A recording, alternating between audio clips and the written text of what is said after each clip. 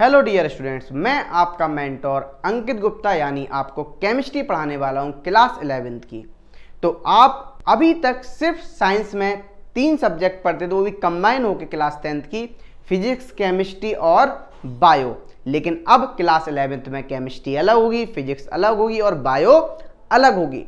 तो मैं, यानी आपको केमिस्ट्री पढ़ाऊँगा और केमिस्ट्री में हम आज स्टार्ट करेंगे पहला chapter some basic concept of chemistry जैसा कि आपने सुना होगा बहुत से टीचर से कि क्लास नाइन्थ का यदि हमें आता है तो क्लास इलेवेंथ भी हमें आता है। हाँ थोड़े से बेसिक्स क्लास नाइन्थ के क्लास इलेवेंथ में यूज़ होते हैं। इस चैप्टर में भी यूज़ होंगे।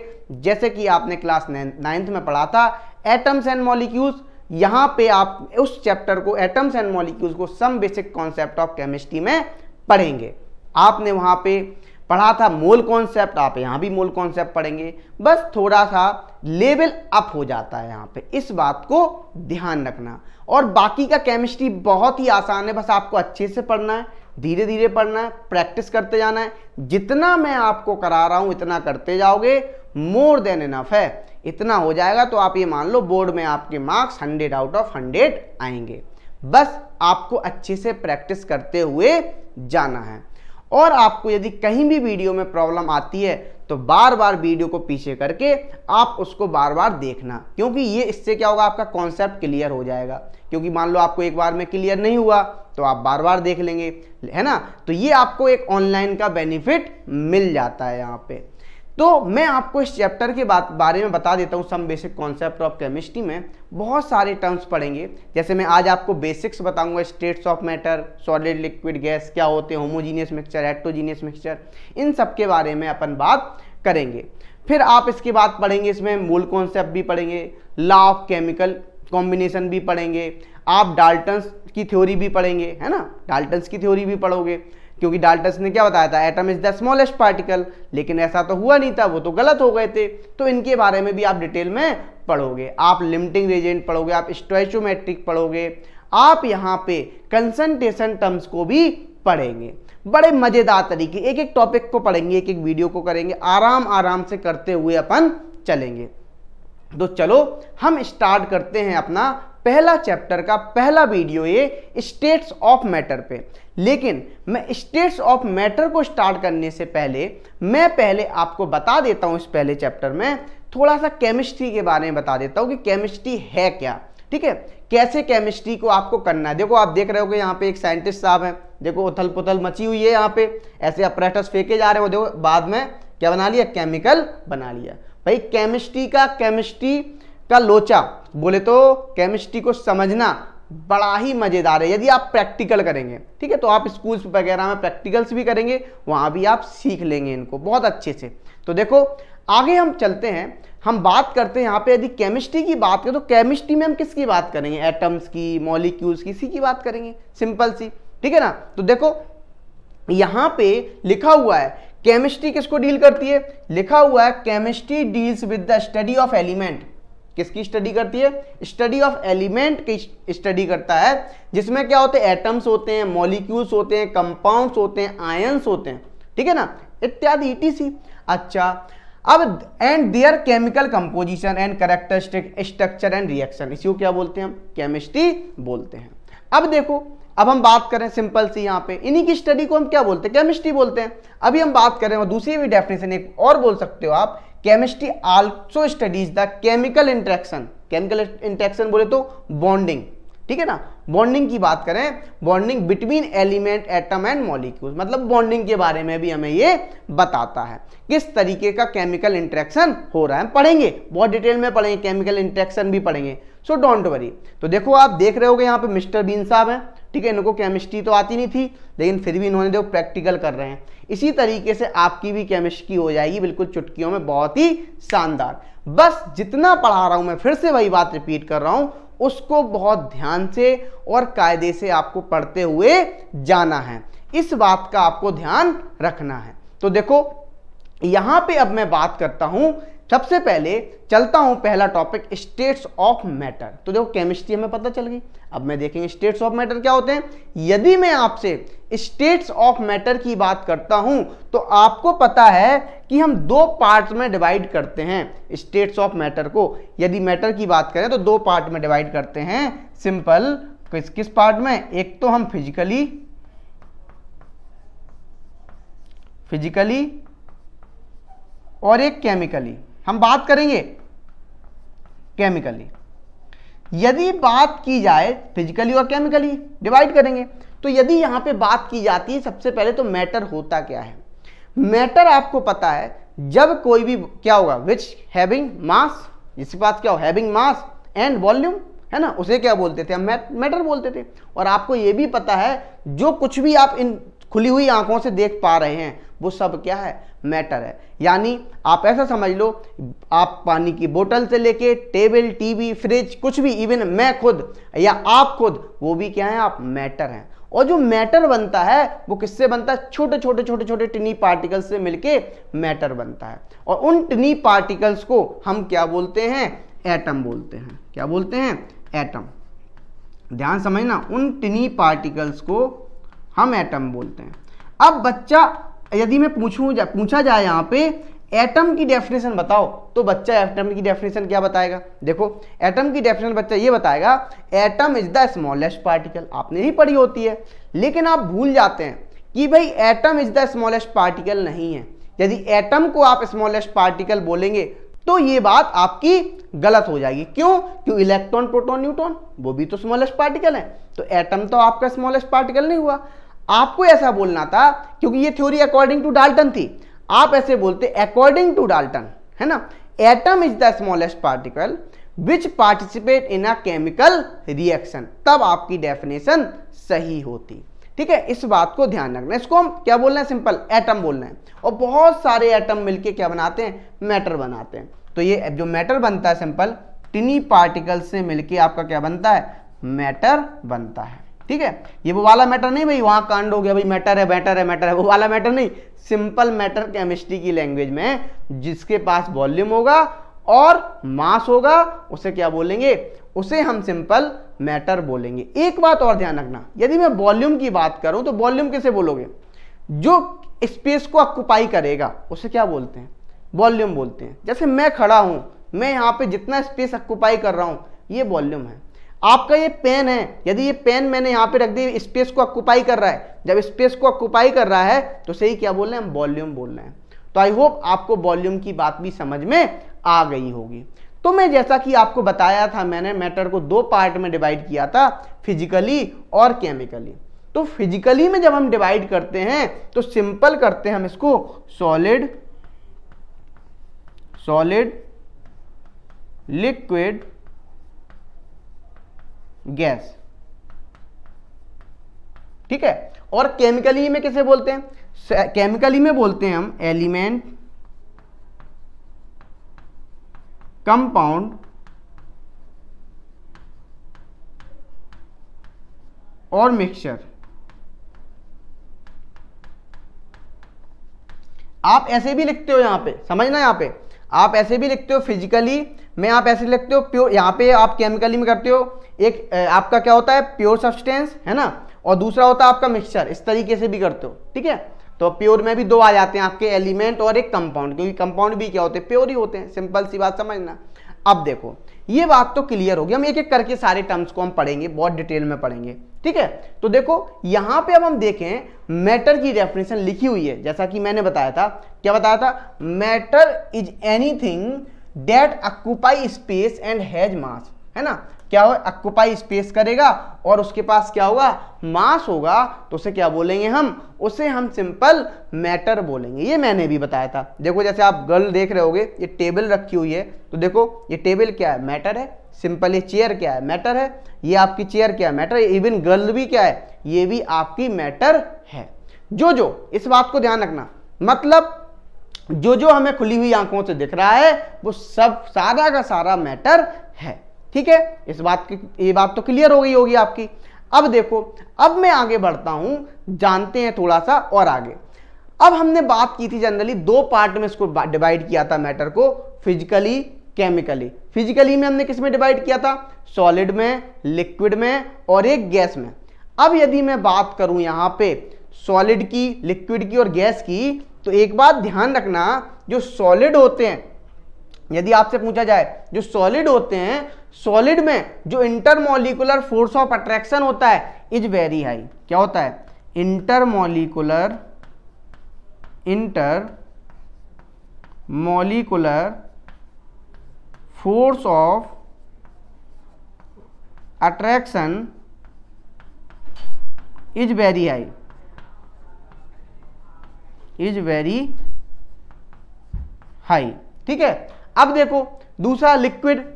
लिक्विड में क्या होता है? लिक्विड में सिंपल होता है, जो इंटरमोलिकुलर फोर्स ऑफ़ अट्रैक्शन होता है, वो लेस देन सॉलिड होता है। क्या होता है? Less than solid. Intermolecular force of attraction is less than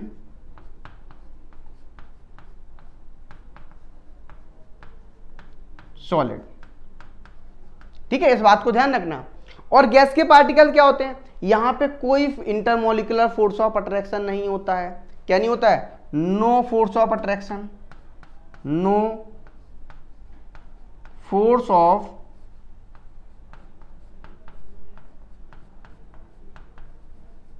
attraction इस बात को ध्यान रखना। मतलब नो फोर्स ऑफ़ अट्रैक्शन बोले तो यहाँ पे कोई भी फोर्स ऑफ़ अट्रैक्शन नहीं होता है। आप ऐसे समझ सकते हो यहाँ पे, जो सॉलिड होते हैं, बहुत ही संस्कारी टाइप के होते हैं। कैसे होते हैं भाई? संस्कारी टाइप के होते हैं। तो मैं यहाँ लिख देता हूँ, संस्कारी। संस्कारी मतलब समझते हो? बोलो भाई। कि पापा ने बोला, बेटा यहाँ बैठो। बेटा वहीं बैठ गया। बैठ गया, है ना? और नहीं तो वो किससे बैठ रहे? डर के मारे। डर रहा है पापा से बहुत ज़्यादा। पापा बहुत स्ट्रिक्ट है, ठीक है? बहुत स्ट्रिक्ट है, इस तरीके से खड़े हैं। अब बोले, बेटा यहाँ बैठो। बेटा वहीं बैठ गया। अब बेटा वहीं बैठ गया। मतलब फोर्स ऑफ़ अट्रैक्शन क्या है? इज़ वेरी हाई ठीक है? है ना? मतलब पापा का डिसिप्लिन में रहता है। डरना मतलब डिसिप्लिन में रहता है वहाँ पे। सिंपल सी बात है, समझना। अब लिक्विड के क्या होते हैं? लिक्विड के पापा लिक्विड के जो थे ये देखो ये थे आपके सिंपल सॉलिड सॉलिड कहाँ थे? संस्कारी मतलब ये, ये आपके विलेजेस में रहते थे ठीक है? अब लिक्विड की बात आई मतलब वो लड़का अब विलेज से कहाँ आ गया? शहर में आ गया। अब शहर में आ गया अब तो फ़ोन पे बात होने लगी। पापा ने बोला बेटा क्या खाया? पापा खा लिया। वो सिंपल सा खाना पीना खा लिया ठीक है? वो रोटी वोटी खा ली थी लेकिन खा के वो पिज्जा आया था उसने नहीं बताया मैं पिज्जा खा के आया हूँ। ठीक है? मतलब अब क्या हो जाएगा? सिंपल सा कम संस्कारी हो जाएगा। क्योंकि अब तो हम शहर वाले हो गए। ठीक है? मतलब पापा से, अब तुम पहले तुम्हारे पिताजी थे, अब तुम्हारे क्या हो गए? पापा हो गए। अब पापा से क्या हुए?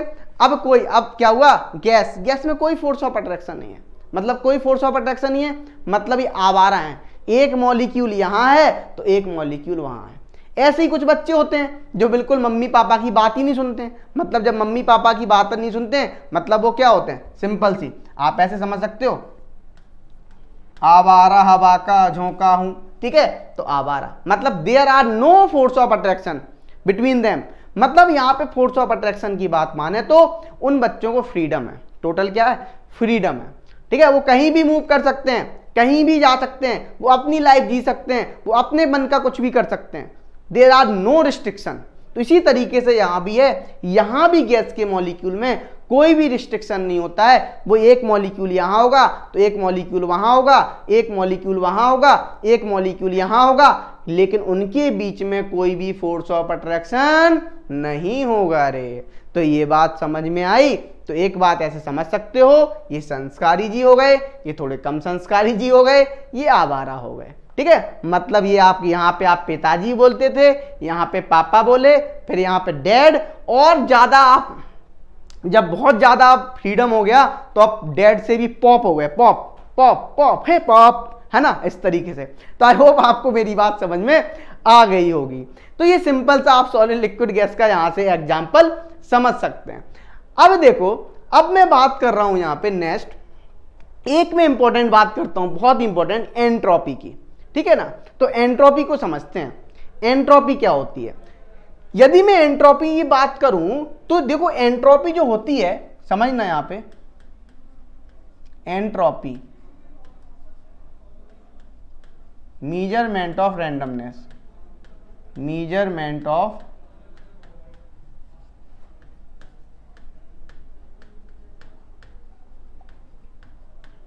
randomness randomness बोले तो इरेगुलरिटी क्या भाई? इरेगुलरिटी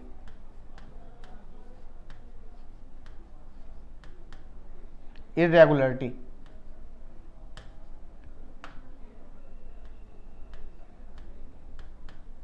मतलब इरेगुलरिटी बोले तो?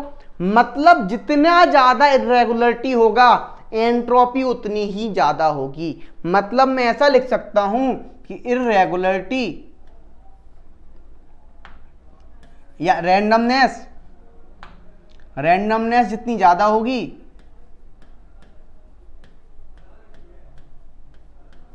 रैंडमनेस जितनी ज़्यादा होगी, उतनी ही ज़्यादा क्या होगी? आपकी एंट्रोपी होगी। क्या होगी भाई? एंट्रोपी होगी। इस बात को ध्यान रखना। मतलब एक बात ध्यान रखना, यदि आपसे पूछा जाए अब सॉलिड लिक्विड गैस में किसकी एंट्रोपी ज़्यादा होगी तो अब आप बोलोगे कि गैस के मॉलिक्यूल में इरेगुलरिटी सबसे ज़्यादा होती है, क्योंकि इनमें फोर्स ऑफ़ अट्रैक्शन नहीं होता है, और जब जब फोर्स ऑफ़ अट्रैक्शन नहीं होगा मतलब इरेगुलरिटी ज़्यादा होगी, तब तब आपकी एंट्रोपी क्या होगी? बहुत ही ज़्यादा होगी। तो यहाँ पे आप सिंपल लिख सकते हो। देखो क्या? सॉलिड लिक्विड और गैस। में आपकी यदि एंट्रोपी की बात की जाए तो गैस की एंट्रोपी क्या होती है? ज़्यादा होती है। क्योंकि इरेगुलरिटी क्या है? सबसे ज़्यादा है। क्या है? इरेगुलरिटी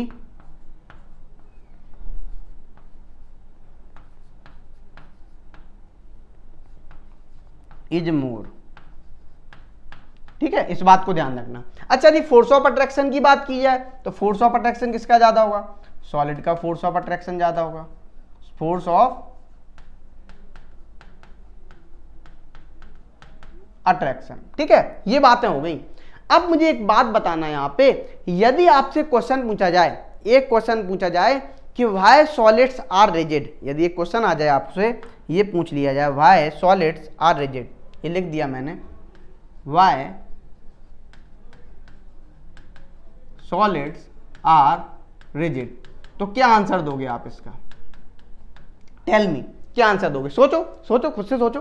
तो आप क्या बोलोगे यहाँ पे? आप यहाँ पे बोलोगे सॉलिड रिजिड क्यों होते हैं? क्योंकि due to high due to more या high intermolecular force of attraction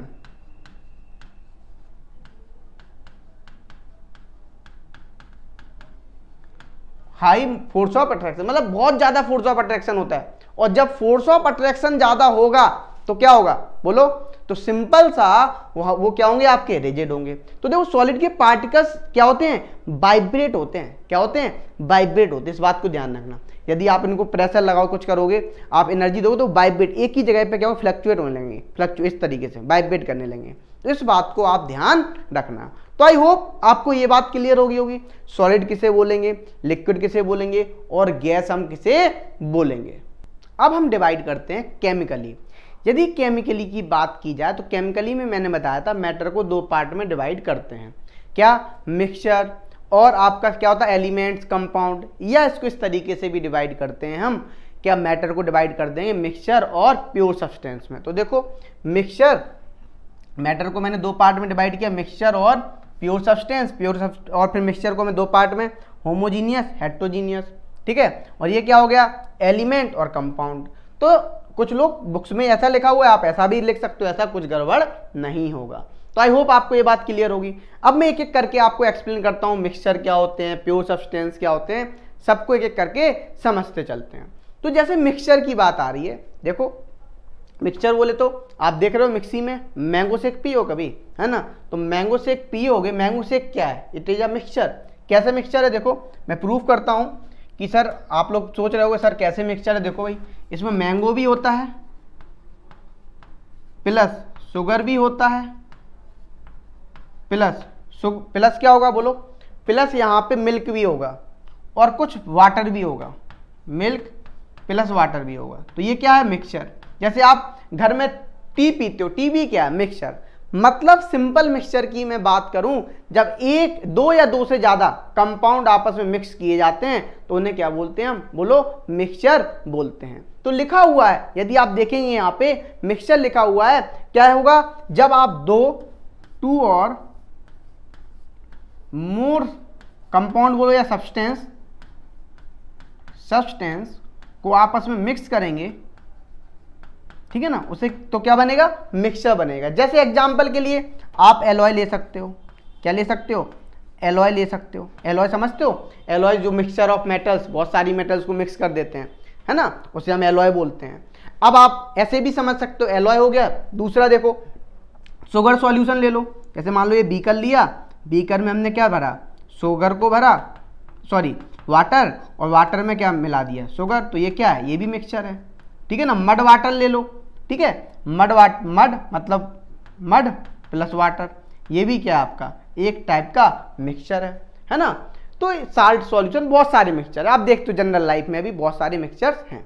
तो देखो, यहाँ पे लिखा हुआ है when two or more substances mix with each other जब हम दो या दो से ज़्यादा सब्सटेंस को मिक्स कर देंगे आपस में तो without participating in a chemical change क्या नहीं होगा? केमिकल चेंज नहीं हुआ ठीक है ना? क्या नहीं हो रहा? केमिकल चेंज नहीं हुआ। ठीक है ना? Without participated in a chemical change the resulting substance is called a mixture उसे क्या बोल रहे हैं मिक्सचर बोल रहे हैं। अब हमने मिक्सचर को फर्दर दो पार्ट में डिवाइड किया था होमोजीनियस और एक हेट्रोजीनियस यदि हम बात करें यहाँ पे होमोजीनियस मिक्सचर की तो होमोजीनियस में क्या होता है? सिंपल सी बात होता है सेम कंपोजिशन होता है हर जगह। क्या होता है? सेम कंपोजिशन होता है। या आप ऐसे समझ सकते हो, क्या होता है यूनिफॉर्म यूनिफॉर्म मिक्सचर होता है, या यूनिफॉर्म कंपोजिशन होता है है ना? या यूनिफॉर्मली मिक्स होते हैं, इस तरीके से आप समझ सकते हो, ठीक है ना? कंपोजिशन अब एक बात ध्यान रखना, हम होमोजीनियस मिक्सचर को नेक्ड आई से नहीं देख सकते ठीक है ना? हमें इसको इवन माइक्रोस्कोप से भी नहीं देख पाते हैं। इवन हम माइक्रोस्कोप से भी नहीं देख देख सकते जैसे कि आप एग्ज़ाम्पल के लिए ले सकते हैं, जैसे सॉल्ट सॉल्यूशन ले लें। क्या ले लें? सॉल्ट सॉल्यूशन ये आपने वाटर लिया वाटर में आपने किसको मिक्स किया? सिंपल सॉल्ट को मिक्स किया तो आपका क्या मिल जाएगा? बोलो, आपका जो सॉल्यूशन बनेगा, वो आपका होमोजीनियस मिक्सचर होगा। कैसा होगा? सॉल्ट सॉल्यूशन हो गया। प्लस ठीक है? प्लस आपका हो गया सिंपल कौन सा? बोलो। शुगर सॉल्यूशन हो गया। ये भी कैसे हैं? होमोजीनियस मिक्सचर है। सारे के सारे। शुगर सॉल्यूशन ठीक है? इस तरीके से आप समझ सकते हो।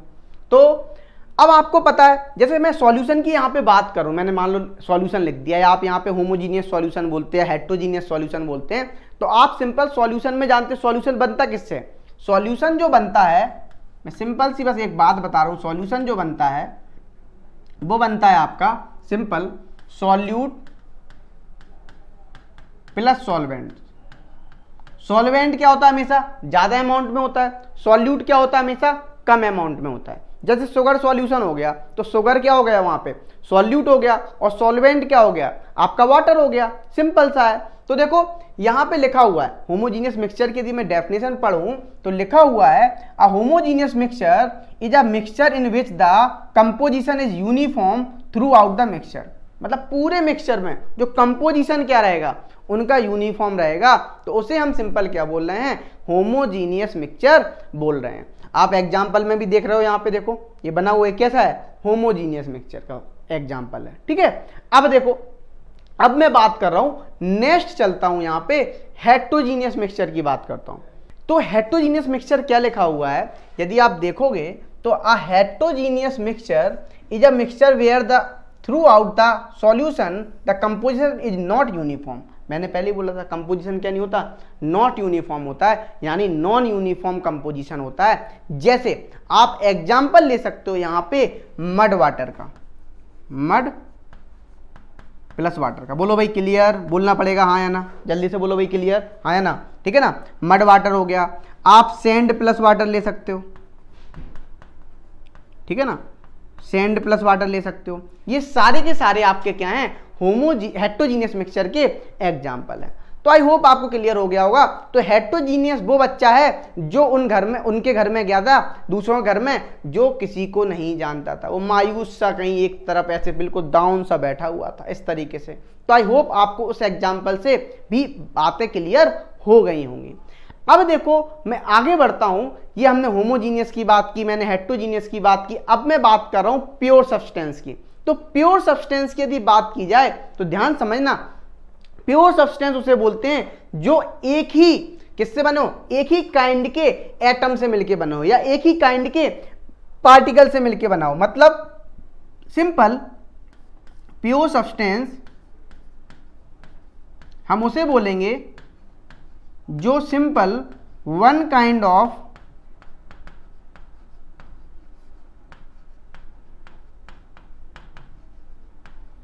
particle से मिलके बनाओ ठीक है ना? अब वन काइंड ऑफ़ पार्टिकल से मिलके बनाओ, है ना? उसे हम क्या बोल रहे हैं? उसे हम सिंपल प्योर सब्सटेंस बोल रहे हैं। लिखा हुआ भी है pure substance are substances that are made up of only one kind of particle and has a fixed or constant structure और इसका क्या है? फिक्स्ड और कांस्टेंट स्ट्रक्चर भी होना चाहिए। जैसे आप देख रहे हो, यहाँ पे कॉपर है, ठीक है ना? तो कॉपर में क्या है? आपको पता है कॉपर में सिंपल किसके एटम होंगे? कॉपर के एटम होंगे। आप आयरन की रॉड ले लो ठीक है आप आयरन की रॉड ले लो तो आयरन में क्या होंगे? सिंपल एफ़ के एटम होंगे सभी। तो एक काइंड के क्या है? पार्टिकल्स हैं। F E F E F E F E F E इस तरीके से। तो आई होप आपको प्योर सब्सटेंस भी क्लियर हो रहा होगा। अब प्योर सब्सटेंस को हम फर्दर दो पार्ट में डिवाइड करते थे। एक था आपका एलिमेंट और एक था आपका कंपाउंड तो एलिमेंट किसे बोलते हैं? सिंपल सा समझना ये क्या बन, मिल, किससे मिलके बना होता है? ये सिंपल मिलके बना होता है। एक काइंड के वन काइंड ऑफ़ ये भी सेम ही बात है वन काइंड ऑफ़ एटम से मिलके बना होता है। जैसे आपको भी मैंने एग्ज़ाम्पल दिया था एफी रॉड का। मैंने आपको एग्ज़ाम्पल दिया था कॉपर रॉड का। तो सिंपल आपको क्या मिलेंगे वहाँ पे? कॉपर रॉड में कॉपर कॉपर मिलेंगे एफ़ में एफ़ ई एफ़ मिलेंगे, आप एल्यूमिनियम लोगे तो एल्यूमिनियम के एटम्स मिलेंगे। तो इसको हम सिंपल बोल रहे हैं एलिमेंट ठीक है ना? क्योंकि एल्यूमिनियम में ऐसा तो है नहीं कि आप आयरन के ढूंढ लोगे। नहीं भाई एल्यूमिनियम की रॉड में आपको एल्यूमिनियम के एटम ही मिलेंगे। जैसा कि आप देख भी रहे हो यहाँ पे, ये कॉपर लिया हुआ है सिंपल ठीक है ना? तो इससे आप समझ सकते हो, इसमें जो आपके एटम्स होंगे, वो आपके कॉपर ही कॉपर के एटम्स होंगे। इसी के साथ, अब हम चलते हैं एलिमेंट के बाद कंपाउंड पे। तो जो कंपाउंड की जब हम बात करते हैं तो कंपाउंड उसे बोलते हैं जो दो या दो से ज़्यादा डिफरेंट एलिमेंट से क्या बन, बनता है? मतलब क्या होता है सिंपल टू और मोर एलिमेंट आर कंबाइंड है ना? आर कंबाइंड टुगेदर ठीक है ना? दो और दो से ज़्यादा यदि एलिमेंट आपस में कंबाइन होते हैं ठीक है एक साथ उन्हें बोलते हैं हम कंपाउंड और जो जब ये होते हैं कंबाइन आपस में तो ये फिक्स्ड बाई मास कैसे होते हैं? बोलो। बाई मास ऐसा नहीं है मास उसका फिक्स होना चाहिए। मतलब मास बोले तो जैसे आपने वाटर लिया H2O H2O लिया, अब एच H2O में, अब आप समझना यहाँ पे, ठीक है ना? यदि मैं इसका रेशियो निकालूं तो देखो क्या आएगा? सिंपल टू रेशियो सिक्सटीन मतलब वन रेशियो एट अब आप वन रेशियो एट चाहे, आप लेबोरेटरी में बनाएँ। चाहे आप घर में पानी बनाएँ, चाहे आप समुद्र का पानी देखें, आप कोई भी पानी लेके आए इवन आप चंद्रमा, आप आप मार्स कहीं से भी आप पानी लेके आए, उनमें जो रेशियो होगा हमेशा वो वन रेशियो एट ही रहेगा। मतलब क्या रहेगा? ऑक्सीजन और हाइड्रोजन का जो रेशियो रहेगा वन रेशियो एट ही रहेगा। चाहे आप एक चम्मच पानी लें या आप एक बाल्टी पानी लें। ठीक है? ये बात क्लियर बोलना पड़ेगा भाई क्लियर हाँ या ना? जल्दी से बोलो। अब देखो अब क्या होगा? एक लिखा हुआ है यहाँ पे definite a compound is a substance that contain atoms of two or more different element and these atoms are chemically joint together उन्हें क्या कर देते? केमिकली ज्वाइंट टुगेदर लेकिन बाई मास इस बात को ध्यान रखना। कंपाउंड जो बनता है, ऐसा नहीं है। यदि अब मास फिक्स रहेगा उनका, ठीक है ना? अच्छा जैसे CO2 हो गया कार्बन डाइऑक्साइड यदि मैं इसका मास देखूँ तो ट्वेल्व रेशियो यहाँ पे कितना हो गया? थर्टी टू ये कितना हो जाएगा? ये हो जाएगा आपका सिंपल फोर, थ्री जा ट्वेल्व, ठीक है? और फोर एट जा थर्टी टू। तो देखो, थ्री रेशियो एट। अब आप कहीं से भी लाओ, कार्बन डाइऑक्साइड, आपको हमेशा किसमें मिलेगा? थ्री रेशियो एट में ही मिलेगा। तो आई होप आपको ये बात भी क्लियर हो गई होगी बहुत ही अच्छे से, ठीक है? तो ये बातें तो क्लियर हो गई। ये तो सारी आपको मैंने बेसिक्स बता दिया, ठीक है ना? आपने क्लास नाइन्थ में नहीं पढ़ा हो या टेंथ में नहीं पढ़ा हो, कोई टेंशन नहीं लेने का। अब आप अपनी स्टडी बिल्कुल आराम से कर सकते हैं और अभी भी आप टॉप बन सकते हैं टॉपर बन सकते हैं, ये बात समझ लो। तो बस आप पढ़ते चले जाएँ, पढ़ते चले जाएँ, धीरे धीरे धीरे धीरे धीरे आपकी केमिस्ट्री अच्छी होती चली जाएगी। कोई चीज़ समझ नहीं आ रही, आप पीछे जाएँ, फिर से देखें, पीछे जाएँ, फिर से देखें। ऐसे चलते चले जाएँगे, आपको क्लियर होता हुआ चला जाएगा। तो देखो, इसी के साथ अब हम चलते हैं नेक्स्ट बात करते हैं। अब जो मैं नेक्स्ट बेसिक की बात कर रहा हूँ है ना? वो मैं बात करूँगा यहाँ पे कटायन और एनायन की। ध्यान से समझना, कटायन किसे बोलेंगे? एनायन किसे बोलेंगे? तो देखो, सिंपल सी बात है, आपने पढ़ा होगा क्लास नाइन्थ में, जब कटायन किसे बोलते हैं? जब इलेक्ट्रॉन का लॉस होता है। जैसे मान लो कोई भी एटम है ए एटम है, इसने इलेक्ट्रॉन का लॉस कर दिया, ठीक है ना? और जैसे ही इलेक्ट्रॉन का लॉस करेगा, ठीक है? तो क्या बनेगा आपका? कटायन बनेगा। क्या बनेगा? कटायन बनेगा। अब क्या होगा? अब क्या होगा? मतलब जब कटायन बनेगा मतलब किस, कैसा है? पॉजिटिवली चार्ज है। इसको हम ऐसा बोल सकते हैं पॉजिटिवली चार्ज है। ठीक है ना? कटायन मतलब पॉजिटिव चार्ज होगा। एटम के पास क्या होगा? पॉजिटिव चार्ज होगा। अच्छा एनाइन मतलब सिंपल जब आपका इलेक्ट्रॉन का क्या कर लेगा वो? गेन कर ले। जैसे मान लो न्यूट्रल एटम है, कोई भी बी है है ना? बी ने क्या किया? एक इलेक्ट्रॉन को गेन कर लिया तो क्या बना दिया? बी माइनस इसको क्या बोल रहे हैं हम? एनायन बोल रहे हैं। क्या बोल रहे हैं? सिंपल एन आयन तो देखो, एक कटायन हो गया, एक आपका एनायन हो गया। अब एक बात ध्यान रखना, ये कटायन एनायन की बात तो हो गई सिंपल सी। ठीक है? तो जैसे मेटल्स होती हैं जितनी भी मेटल्स होती हैं मेटल्स क्या होती है? इलेक्ट्रॉन का लॉस करती है। जब इलेक्ट्रॉन का लॉस करती है तो वो कैसी होती हैं? वो सिंपल आपके पॉजिटिव यूनी पॉजिटिव या कटायन बोलो जैसे सोडियम है। सोडियम ने एक इलेक्ट्रॉन का लॉस किया तो क्या बना? N A plus plus electron इसको क्या बोलेंगे हम? कटायन बोलेंगे। या इसी को हम बोलते हैं सिंपल यूनी पॉजिटिव भी बोलते हैं। यूनी पॉजिटिव मतलब समझते हो? एक पॉजिटिव चार्ज है। क्या है भाई? एक पॉजिटिव चार्ज है, इसलिए इसको क्या बोल रहे हैं? यूनी पॉजिटिव बोलो भाई क्लियर है ना? अच्छा अब देखो, एक इलेक्ट्रॉन का लॉस कर लिया। अब ध्यान समझ रहे हो? ये मैं बेसिक्स बता रहा हूँ। यहाँ पे क्या होगा आपको ये चीज़ें समझ में आनी चाहिए। जब आप क्वेश्चंस करोगे तो प्रॉब्लम आती है। यदि ये चीज़ें पता नहीं होगी। अब एक बात ध्यान रखना। अब यहाँ पे आप देख रहे हो, न्यूट्रल एटम ने जब इलेक्ट्रॉन का लॉस किया, जब तो प्लस चार्ज कटायन और जब गेन किया तो एनायन मतलब मेटल ने क्या किया? जनरली मेटल ने इलेक्ट्रॉन का लॉस किया। तो जो आपका, अब मेटल गेन कौन करता है? जनरली नॉन मेटल्स जैसे क्लोरीन हो गया, क्लोरीन ने क्या किया? इलेक्ट्रॉन को गेन कर लिया। तो क्या हो गया? सी एल माइनस हो गया। ठीक है? और ये हो क्यों रहा है? लॉस, गेन, क्यों चल रहा है भाई ये सब? ये इसलिए चल रहा है क्योंकि हर एक एटम क्या होना चाहता है? स्टेबल स्टेट में होना चाहता है। जैसे आपसे पूछा जाए, आप क्यों पढ़ रहे हो? तो आप सिंपल बताओगे मुझे कि सर, स्टेबल होने के लिए, क्योंकि जॉब लग जाएगी, जॉब लग जाएगी तो पैसा आएगा, और जब पैसा आएगा तो आप स्टेबल हो जाएँगे। तो आप भी स्टेबिलिटी के लिए कर रहे हो। इसी तरीके से केमिस्ट्री में ये आपके एटम्स भी हैं, ये भी क्या होना चाहते हैं? ये भी स्टेबल होना चाहते हैं। जितने भी एलिमेंट है जितने भी एटम है, जो कुछ भी है, दुनिया में जो कुछ भी है, वो सब स्टेबल होना चाहते हैं। क्या होना चाहते हैं? स्टेबल होना चाहते हैं। एक बात इंपॉर्टेंट मैं यहाँ पे और भी बता देता हूँ। जब जब एनर्जी रिलीज़ होती है, तब तब मॉलिक्यूल एटम जो भी है दुनिया में, वो सब किसमें आते हैं? स्टेबल स्टेट में आते हैं। इस बात को ध्यान रखना। ठीक है? अब मैं आगे बढ़ रहा हूँ। सिंपल सी बात समझना। यहाँ पे कटायन बन गया एनायन बन गया। ठीक है? अब कटायन एनायन की मैं बात कर रहा था तो अब ये आपस में क्या होंगे? कंबाइन होंगे। अब कटायन और एनायन क्या होंगे? आपस में कंबाइन होंगे। जब आपस में कंबाइन होंगे तो वो कौन सा बॉन्ड बनाएँगे? सिंपल आयनिक बॉन्ड बनाएँगे। तो सिंपल क्या हुआ? जब आपका सिंपल यहाँ पे इलेक्ट्रॉन का ट्रांसफ़र हुआ मतलब इलेक्ट्रॉन का ट्रांसफ़र बोले तो लॉस और गेन हुआ। जो इलेक्ट्रॉन का ट्रांसफ़र हो रहा है इलेक्ट्रॉन का ट्रांसफ़र हो रहा है, वो भी किसकी वजह से? बोलो।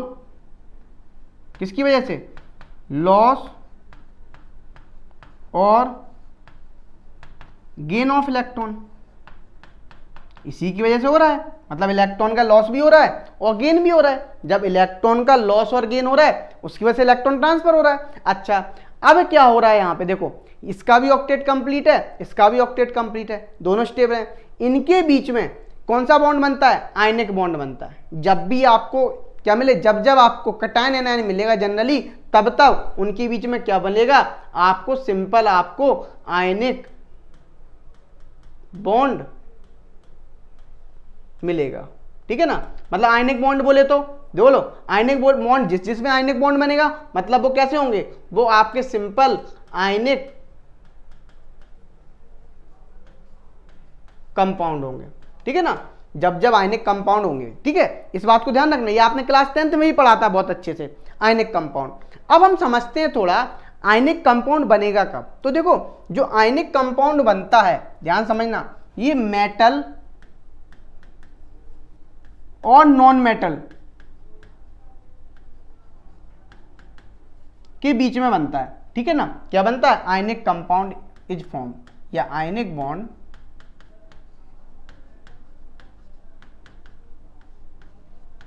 इज़ फॉर्म क्योंकि ये इलेक्ट्रॉन मेटल इलेक्ट्रॉन का लॉस करेगी और नॉन मेटल इलेक्ट्रॉन को गेन करेगी तो उनके बीच में क्या आएगा? एक फोर्स ऑफ़ अट्रैक्शन आएगा। तो देखो यहाँ पे यदि पूछा जाए आपको, ध्यान समझना, जैसे आयनिक बॉन्ड है तो between two oppositely charge atom जो आयनिक बॉन्ड बनता है between ionic bond are form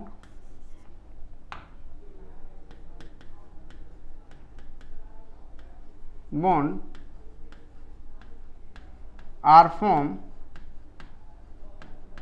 कब होगा between two oppositely charge atom. Between two oppositely charge atom. है ना? मतलब अपोजिटली चार्ज एटम मतलब सोचा जाए, यहाँ पे अपोजिटली चार्ज मतलब एक कटायन होना चाहिए और एनायन होना चाहिए। सिंपल जो आयनिक बॉन्ड बनता है, ये क्या होता है? इसमें होता है सिंपल ट्रांसफ़र ऑफ़ इलेक्ट्रॉन क्या होता है? ट्रांसफ़र ऑफ़ इलेक्ट्रॉन तो समझना यहाँ पे, अब जब अपोजिटली चार्ज एटम है जैसे मान लो एक कटायन हो गया एन प्लस इसने इलेक्ट्रॉन गेन किया लॉस किया, और सी एल माइनस इसने इलेक्ट्रॉन गेन किया तो सिंपल इनके बीच में क्या आया? जो फोर्स ऑफ़ अट्रैक्शन आता है, दो अपोजिटली चार्ज एटम के बीच में तो वो आता है electrostatic electrostatic force of attraction जो कि क्या होता है? बहुत ही स्ट्रांग होता है। क्या होता है? बहुत ही स्ट्रांग होता है। मतलब यदि आपसे पूछा जाए कि यहाँ पे इनके मेल्टिंग पॉइंट बॉइलिंग पॉइंट कैसे होंगे तो अब आप बोलोगे मेल्टिंग पॉइंट और boiling point is high melting point and boiling point is high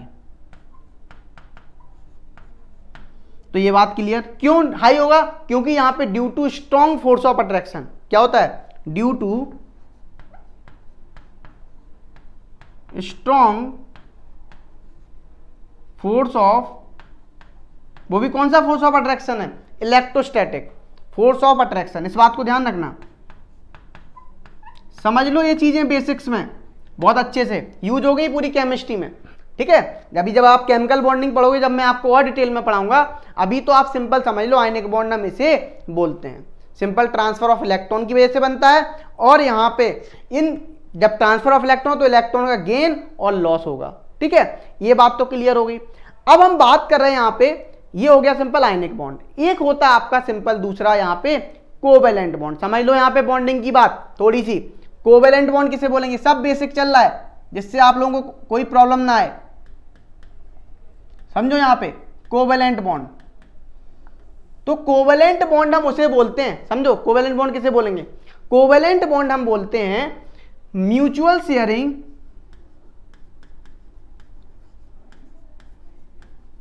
sharing of electron between two atoms देखो, जब म्यूचुअल शेयरिंग ऑफ़ इलेक्ट्रॉन होगा तो सिंपल उसे क्या बोलेंगे? बोलो, उसे हम कोवेलेंट बॉन्ड बोलेंगे। मतलब जैसे मान लो, आपको कोई बिज़नेस डालना है। क्या डालना है? बिज़नेस डालना है। जब आप बिज़नेस डालोगे तो आपके पास मान लो वन लाख रुपीज़ हैं। आपके फ्रेंड के पास वन लाख रुपीज़ हैं। आप दोनों को बिज़नेस डालना तो आपने क्या किया? वन लाख रुपीज़ आपने डाले बिज़नेस में वन लाख रुपीज़ उसने डाले। मतलब क्या होगी बराबर की हिस्सेदारी होगी ठीक है ना? तो यहाँ भी यही होगा। सिंपल जब यहाँ पे इलेक्ट्रॉन की शेयरिंग जो होगी, वो बराबर की हिस्सेदारी होगी। एक इलेक्ट्रॉन की शेयरिंग भी होगी, दो इलेक्ट्रॉन की शेयरिंग भी होगी, तीन इलेक्ट्रॉन की शेयरिंग भी होगी। लेकिन बराबर से। ऐसा नहीं कि एक एटम ने एक इलेक्ट्रॉन दिया, दूसरे एटम ने चार दिन नहीं। भाई बराबर फिफ्टी फिफ्टी परसेंट इस तरीके से आप समझ सकते हो। अब देखो एक बात ध्यान म्यूचुअल शेयरिंग की वजह से बन रहा है। दूसरी बात, जैसे आप देख सकते हो यहाँ पे सिंपल जैसे हाइड्रोजन है, ठीक है ना? हाइड्रोजन क्या बनाएगा? इसके पास एक इलेक्ट्रॉन है। हाइड्रोजन दूसरे हाइड्रोजन के पास भी एक इलेक्ट्रॉन है। ये आपस में क्या बना लेंगे? म्यूचुअल शेयरिंग बना ली, देखो, इस तरीके से। यहाँ पे क्या हो रहा है? म्यूचुअल शेयरिंग ऑफ़ इलेक्ट्रॉन हो रहा है। ठीक है ना? तो ये आपका बन गया हाइड्रोजन एटम ठीक है? और इसके बीच में कौन सा बॉन्ड है? ये आपका जो बॉन्ड है, ये कोवेलेंट बॉन्ड है। Covalent bond. भाई दो क्लियर? बोलो। ये बात क्लियर आप लोगों को? अब देखो, ये तो मैंने सिंपल कोवेलेंट बॉन्ड की भी बात बोल दी।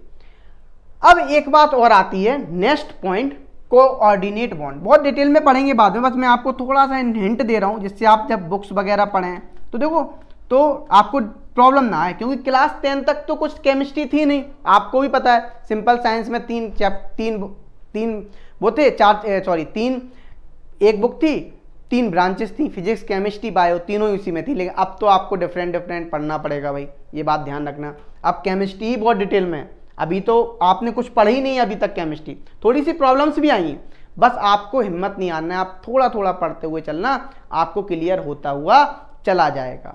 अब देखो, जब हमने कोऑर्डिनेट बॉन्ड की बात की तो कोऑर्डिनेट बॉन्ड किसे बोलते हैं? कोऑर्डिनेट बॉन्ड हम उसे बोलते हैं जब इलेक्ट्रॉन, क्या हो देखो, जैसे मान लो ए है ए है ए का ऑक्टेट कंप्लीट है। क्या ऑक्टेट मतलब फुल फुल्ली फिल्ड आठ इलेक्ट्रॉन है आउटर मोस्ट सेल में। अब बी का ऑक्टेट क्या है आपका? इनकम्प्लीट है। मतलब ये अनस्टेबल है। बी का ऑक्टेट क्या? इनकम्प्लीट है। तो ये क्या करेगा? इलेक्ट्रॉन को डोनेट कर देगा। क्या कर देगा? इलेक्ट्रॉन को डोनेट कर देगा। ठीक है? तो ये भी क्या हो जाएगा? स्टेबल हो जाएगा, ये भी स्टेबल है। जैसे समझो कोऑर्डिनेट भी बोलते हैं, इसी को हम बोलते हैं डेटिव बॉन्ड आप ऐसे याद रख सकते हो डेटिव मतलब देना देना इस तरीके समझ सकते हो डेटिव बॉन्ड है ना? इस तरीके, जैसे आप मंदिर जाते हो मंदिर जाते हो आप ऐसा समझ सकते हो मंदिर में जो पैसा चढ़ाते हो, आप भगवान से ले तो नहीं, चढ़ा दिए, फिर निकाल लिए। ऐसा तो नहीं करते ना? आपने दे दिए तो दे दिए। तो सिंपल, आपको उसका, आपको बड़ी सुकून मिलता है। तो सिंपल यहाँ भी क्या होता है? ये इलेक्ट्रॉन को देता है, लेता नहीं है। ठीक है ना? दे देगा। है ना? अच्छा इस बात को ध्यान रखना बहुत अच्छे से। अब एक बात और ध्यान रखना, यहाँ पे इसको इस तरीके से भी रिप्रेजेंट करते हैं। आप एक बात आओ, जब आप मंदिर जाते हो, मंदिर में दान करते हो पैसे को तो एक बताओ आपको सुकून मिलता है। मंदिर, मस्जिद, कहीं भी आप जाते हो, आप किसी को, आप ये खाना खिलाते हो किसी को भी आप कुछ दान करते हो तो आपके मन को सुकून मिलता है। है ना? आपके पेरेंट्स को बहुत सुकून मिलता है। अरे, मैंने आज जन्नत पा ली है। ठीक है? तो सिंपल इसी तरीके जब आपको मतलब क्या थी पॉजिटिविटी आती है। तो एक बताओ जब इसने इलेक्ट्रॉन दिया तो इसके अंदर कौन सी फीलिंग आएगी? पॉजिटिविटी आएगी। बोले, नहीं, मैंने तो ये किया है। तो देखो यहाँ पे, जब पॉजिटिविटी फीलिंग आई तो इस पर क्या आएगा? Plus charge. इस पर क्या आएगा? Minus charge. ठीक है ना? तो इस तरीके से आप समझ सकते हो। या आप ऐसे भी समझ सकते हो, जैसे मान लो आपके दोस्त को पैसे की ज़रूरत है। ठीक है? उसने बोला, मुझे पचास रुपए दे दो। तो अब आपने क्या किया? उसको पचास रुपए दिए। तो आप तो पॉजिटिव में हो गए। वो कैसा हो गया?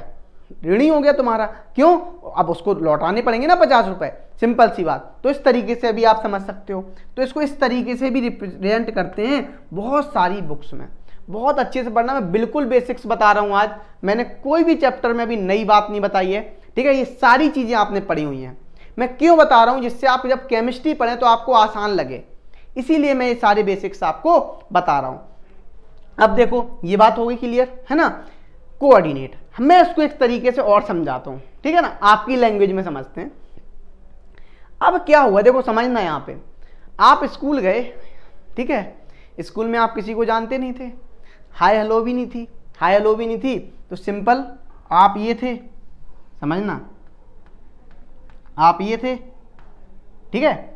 स्कूल गए। स्कूल में जाने के बाद आपको बड़े बड़े ब्यूटीफुल ब्यूटीफुल लोग मिले, ठीक है ना? आप इनको क्या करने लगे? भाई पसंद करने लगे। जब पसंद करने लगे तो देखो समझना अरे मन में लड्डू फूटा बोले हाँ बिल्कुल फूटे बोले, एक नहीं, चार चार फूटे।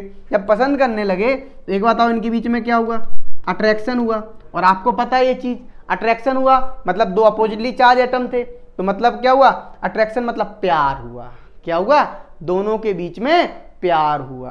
प्यार हुआ, इकरार हुआ, है ना? तो सिंपल सी बात। जब अट्रैक्शन जब जब अट्रैक्शन से बॉन्ड बनता है तो आपको पता है कौन सा बॉन्ड बनेगा? बोलो आयनिक बॉन्ड बनेगा। तो दो अपोजिटली चार्ज है, दो अपोजिटली चार्ज एटम है तो अट्रैक्शन जो प्यार होता है ना, जो स्कूल वाला प्यार कॉलेज वाला प्यार, या कोई भी प्यार, ठीक है, वो क्या होता है? अट्रैक्शन ठीक है?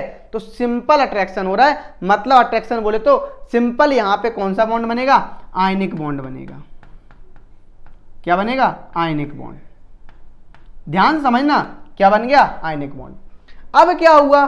अब प्यार हो गया, इकरार हो गया, अब प्यार और इकरार के बाद, फिर क्या हुआ? अब भाई सिंपल सी, अब वो बोले, नहीं, मैं तो आपसे सच्चा प्यार करता हूँ, या मैं आपसे सच्चा प्यार करती हूँ एक्सेक्टा एक्सेक्टा तो फिर क्या हुआ? उनके बीच में बोले, नहीं, एक काम करते, शादी कर लेते हैं। तो शादी कर ली मतलब म्यूचुअल शेयरिंग हो गई। ठीक है ना? मतलब शादी, गठबंधन गठबंधन। तो गठबंधन हुआ तो क्या हो गया? म्यूचुअल शेयरिंग हुई। अब तो और मन में लड्डू फूटा। बोले, एक नहीं चार चार फूटे, सर। ठीक है? फूटे भाई। तो देखो सिंपल क्या हो गया? शादी हो गई, सहरा पहन लिया लड़के ने, बड़ा खुश है, बड़ा आराम से, बड़ा मुस्कुरा रहा है, बढ़िया आराम से, है ना? तो ये क्या हो गई? म्यूचुअल शेयरिंग गठबंधन में आ गए। ठीक है? तो यहाँ पे जब आपकी म्यूचुअल शेयरिंग हो रही है तो कौन सा बॉन्ड बन रहा है? कोवैलेंट बॉन्ड बन रहा है। ठीक है ना? तो ये बात क्लियर बोलो। तो आई होप आपको ये बात भी क्लियर हो रही है तो इस तरीके से आप समझ सकते हैं, ठीक है? तो आयनिक कोऑर्डिनेट ये आप समझ गए होंगे, ठीक है ना? बहुत डिटेल में समझ गए होंगे। अब देखो तो अब हम आगे बढ़ते हैं। नहीं तो मैंने आयनिक बॉन्ड बता दिया कोवलेंट बता दिया कोऑर्डिनेट बता दिया। थोड़ी सी मैं बातें और कर लेता हूँ। जैसे बच्चा क्या लिखता है? जब आपको कंपाउंड का फॉर्मेशन करना होता है तो कैसे आप कंपाउंड का फॉर्मेशन करेंगे? आपको कॉपर सल्फेट लिखा हुआ मिल गया। आपको एल्यूमिनियम सल्फेट लिखा हुआ मिल गया। तो आप कैसे कंपाउंड का फॉर्मेशन करेंगे, मैं आपको ये भी बता देता हूँ। ध्यान से समझना कैसे करते हैं। तो देखो, जब आप लिखेंगे यहाँ पे, जैसे मान लो, आपने लिख दिया, एल्यूमिनियम सल्फेट बनाना है। क्या बनाना एल्यूमिनियम सल्फेट। तो अब आपको पता होना चाहिए, इसको क्या बोलते हैं हम? एल्यूमिनियम। सल्फेट किसे बोलते हैं? एसओ फोर माइनस टू ठीक है? ये हो गया। अब आपको पता है, ये हमने सल्फेट लिख दिया। तो अब क्या होता है यहाँ पे? यहाँ पे सिंपल। क्या होता है? क्रॉस मल्टीप्लाई होता है। समझ लो यहाँ पे अच्छे से कंपाउंड का फॉर्मेशन। कैसे करते हो आप? तो देखो, ये बच्चों को बहुत ज़्यादा प्रॉब्लम होती है। बच्चे बना नहीं पाते हैं। तो देखो, यहाँ पे जब आप बनाओगे तो क्या बनेगा? A L two SO four का होल थ्राइस और जब भी आप बनाओगे तो यहाँ पे जो होता है, ये क्या होता है? मैग्नीट्यूड में होता है। ऐसा नहीं कि माइनस थ्री माइनस टू से मल्टीप्लाई नहीं भाई, मैग्नीट्यूड वैल्यू रखोगे हमेशा? कैसी रखोगे? मैग्नीट्यूड वैल्यू तो आई होप आपको ये बात क्लियर हो गई होगी। बहुत अच्छे से। अब जैसे मान लो, आपको यहाँ पे कैल्शियम सल्फेट बनाना है। तो देखो, आपको पता हो चाहिए चार्ज किस पे कितना होता है? सल्फेट माइनस टू ठीक है ना? आपके दिमाग में आया। मतलब आपने calcium C A plus two ठीक है? क्रॉस मल्टीप्लाई कर दिया। तो क्या बन गया? सी ए अब कुछ लोग C A two S O four का होल ट्वाइस तो आप सिंपलेस्ट होल नंबर में लिखोगे तो क्या आएगा? C A S O four आएगा कैल्शियम सल्फेट आ जाएगा। इस तरीके से आप लिख दोगे। जैसे मान लो आपको एल्यूमिनियम ऑक्साइड आ गया। क्या आ गया? एल्यूमिनियम ऑक्साइड अब आपको पता हो चाहिए ऑक्साइड पे चार्ज कितना होता है? माइनस टू एल्यूमिनियम पे कितना होता है? बोलो। सिंपल ये होता है। कितना? प्लस थ्री तो अब आप क्या करेंगे? क्रॉस मल्टीप्लाई करेंगे। इस तरीके तो क्या आ जाएगा? A L two O three ठीक है? अब जैसे मान लो, आप इसी तरीके से करेंगे, जैसे मान लो आपको एल्यूमिनियम फॉस्फेट आ गया, या आपको मान लो सोडियम फॉस्फेट आ गया। अब हमें पता ही नहीं है फॉस्फेट आयन का साइज़ क्या होता है है ना? तो फॉस्फेट आयन पे जो चार्ज होता है, वो होता है पीओ फोर माइनस थ्री ये फॉस्फेट होता है। इसको क्या बोलते हैं हम? फॉस्फेट आयन लिख देता हूँ मैं। ठीक है ना? इसको क्या बोलते हैं हम? Sulphate ion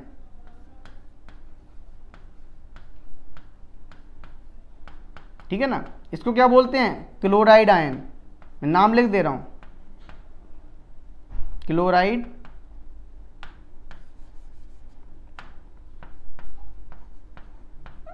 chloride ion. ठीक है ना? इसको क्या लिखते हैं? फ्लोराइड आयन या ब्रोमाइड आयन। है ना? Fluoride F minus, B R minus, bromide. Ion ज़रूर लगाते हैं। ठीक है ना? आई माइनस आ जाए जैसे आयोडाइड ठीक है, इस बात को ध्यान रखना। ठीक है? तो देखो, यहाँ पे अब फॉस्फेट आयन है, जैसे मान लो हमें सोडियम फॉस्फेट बनाना है तो अब आपको पता होना चाहिए सोडियम पे चार्ज कितना होता है? प्लस वन फॉस्फेट पे कितना है? माइनस थ्री अब हम क्या करेंगे? सिंपल क्रॉस मल्टीप्लाई करेंगे। जब क्रॉस मल्टीप्लाई करोगे तो क्या आएगा? सिंपल आएगा N A three P O four का। बोलो? बस आ गया N A three O P O four ये आ गया, ठीक है ना? सोडियम फॉस्फेट सॉरी क्या क्या आ गया? सोडियम फॉस्फेट आ गया। जैसे मान लो कैल्शियम फॉस्फेट आ जाता, है ना? कैल्शियम फॉस्फेट आपको पता है ना? कैल्शियम इनेमल होता है है ना? इनेमल समझते हो कैल्शियम फॉस्फेट इनेमल होते हैं दांतों में, जो परत जमती है ना येलो येलो वो क्या होती है सिंपल आपका कैल्शियम फॉस्फेट ही होता है। सबसे हार्डेस्ट सब्सटेंस होता है पूरी बॉडी में, सबसे हार्डेस्ट सब्सटेंस इस बात को ध्यान रखना। मुझे याद आ गया तो मैं देखो कैल्शियम फॉस्फेट लग रहे हैं। Plus two, P O four minus three. Cross multiply करो तो क्या हो जाएगा? C A three, P O four का होल ट्वाइस। इस तरीके से आप क्या बना लेंगे? फॉर्मूला ऑफ़ द कंपाउंड बना लेंगे। मैं छोटी थोड़ी चीज़ें बताई आपको। इसीलिए बता रहा हूँ, आयनिक कंपाउंड किसे बोलते हैं, कोऑर्डिनेट, सब कुछ बता दिया। इसीलिए मैंने फॉर्मेशन ऑफ़ कंपाउंड, किस तरीके से आप कंपाउंड का फॉर्मेशन करेंगे। इस तरीके से आप फॉर्मेशन करेंगे। हमें चार्ज पता होना चाहिए, ठीक है ना? किस पे कितना चार्ज है? फिर तो बाकी का तो आप कर ही लोगे, ठीक है? जैसे NO3 हो गया NO3 नाइट्रेट क्या बोलते हैं? NO3 माइनस इसको बोलते हैं नाइट्रेट आयन ठीक है ना? अब जैसे मान लो, आपको पोटेशियम नाइट्रेट बनाना है तो इस पर क्या होगा? Plus charge plus one NO three minus one आपको इसी तरीके से आएगा केमिस्ट्री में पोटेशियम नाइट्रेट अब आपको फॉर्मूला ही नहीं पता है। ठीक है ना? तो देखो के एनओ थ्री ये हो गया पोटेशियम नाइट्रेट इस तरीके से। ठीक है? ये सारे बेसिक्स में बताता चला जा रहा हूँ। है ना? तो आई होप आपको ये बात भी क्लियर होगी होगी। आप कैल्शियम नाइट्रेट बहुत सारे मैग्नीशियम नाइट्रेट जो कंपाउंड बनाना चाहें, वो आप बना सकते हैं। ठीक है? तो आपको इससे एक आइडिया लग गया होगा, इस तरीके से आपको करना है। ठीक है क्लास नाइन्थ का रिवीजन भी हो गया होगा, आपने क्लास नाइन्थ में बहुत अच्छे से इन चीज़ों को पढ़ा होगा। अब देखो, अब मैं नेक्स्ट बात बता रहा हूँ, बहुत ही इंपॉर्टेंट मैं यहाँ पे कुछ इंपॉर्टेंट एनाइन के नाम लिख देता हूँ, जिससे आपको प्रॉब्लम नहीं आएगी, ठीक है ना? तो जैसे मैं लिख दे रहा हूँ यहाँ पे कार्बोनेट इसको बोलते हैं कार्बोनेट आयन ठीक है, जिससे आपको फॉर्मूला ऑफ़ कंपाउंड बनाने में प्रॉब्लम नहीं आएगी। ये लिख दिया by carbonate ion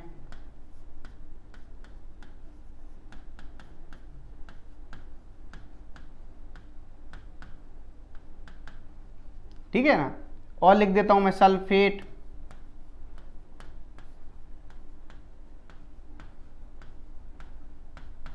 phosphate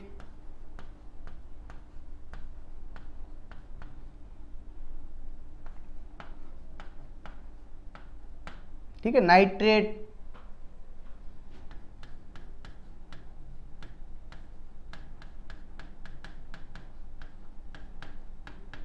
oxalate ion C two O four two minus इसको बोलते हैं oxalate ion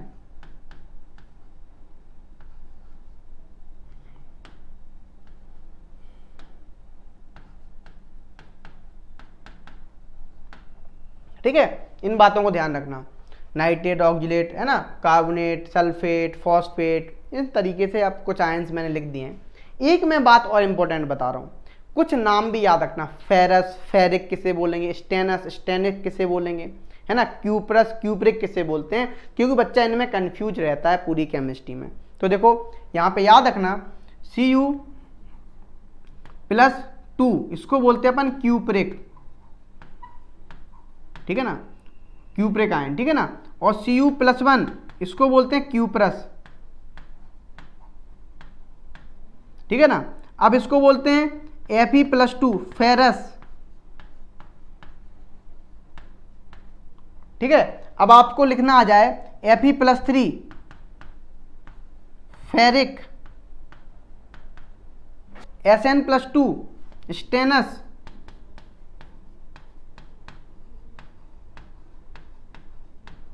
S N plus four, stannic.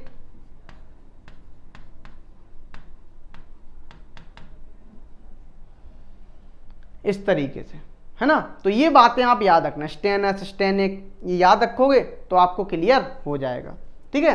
क्योंकि इनमें बच्चा कंफ्यूजन रहता है कि भाई कैसे करें, कैसे नहीं करें, सर फेरस फेरिक किसे बोलेंगे? कभी कभी लिख के आएगा फेरस नाइट्रेट है ना? अब फेरस नाइट्रेट बनाना ही नहीं आता है। ठीक है? या फेरस ऑक्जिलेट जैसे मान लो फेरस ऑक्जिलेट आ गया। अब बनानी अब आपको पता है फेरस क्या होता है? F E plus two oxalate क्या होता है? C two O four two minus बस क्रॉस मल्टीप्लाई कर दो। जो फॉर्मूला आप कंपाउंड बन गया। F E C two O four simple इस तरीके से। तो इस तरीके से आपको बनाना है। तो आई होप आपको ये बात क्लियर हो गई होगी। अब जो बात इंपॉर्टेंट है केमिस्ट्री में, वो इंपॉर्टेंट है आपको सिंपल मॉलिकुलर मॉलिकुलर मास याद रखना। या मॉलिकुलर मास बोले तो सॉरी यहाँ पे एटॉमिक मास और एटॉमिक नंबर ये बहुत इंपॉर्टेंट है, ठीक है ना? तो ये आपको याद रखना पड़ेगा। जैसे आपको मान लो हाइड्रोजन का वन हो गया हीलियम का टू हो गया लिथियम का थ्री हो लिथियम का सिक्स हो गया हीलियम का सॉरी एटॉमिक नंबर टू थे, ठीक है ना? ये मास नंबर लिखा हुआ है फोर सेवन आप लोग लिथियम का, ठीक है ना? बेरिलियम हो गया नाइन एटॉमिक मास होता है। चार इसका एटॉमिक नंबर होता है। तो सिंपल इस तरीके से आपको लिखे हुए हैं। ठीक है ना? कितने? ये दस लिखे हुए हैं। दस, ये भी लिखे हुए हैं। तीस तक मिनिमम थर्टी तक। आपको क्या होने, याद होने चाहिए? सिंपल एटॉमिक नंबर और मास मतलब एटॉमिक मास आपको याद होना चाहिए यदि केमिस्ट्री आपको स्ट्रॉन्ग करनी है। तो ये बात आप ज़रूर करेंगे। ठीक है बच्चा पार्टी? ये आपकी ज़िम्मेदारी है। ये आपको नेक्स्ट लेक्चर में याद होने चाहिए। ठीक है? मैं आपसे पूछूँगा ज़रूर। तो आई होप आपको ये वीडियो में मज़ा आ गया होगा और आपके कॉन्सेप्ट भी क्लियर हो गए होंगे। यदि आपको लगता है कॉन्सेप्ट क्लियर नहीं है तो फिर से जाइए उस टॉपिक पर, फिर से पढ़िए, फिर आइए, फिर से जाइए, फिर पढ़िए, फिर जाइए, फिर पढ़िए, जब तक कि क्लियर ना हो जाए। तो इसी के साथ ये वीडियो होता समाप्त। मिलते हैं आपसे इसी प्रकार की नेक्स्ट वीडियो में, जिसमें टॉपिक करेंगे हम सिग्निफिकेंट फिगर बहुत इंपॉर्टेंट है। ध्यान से समझना और पढ़ना। ठीक है? Thank you so much tata bye bye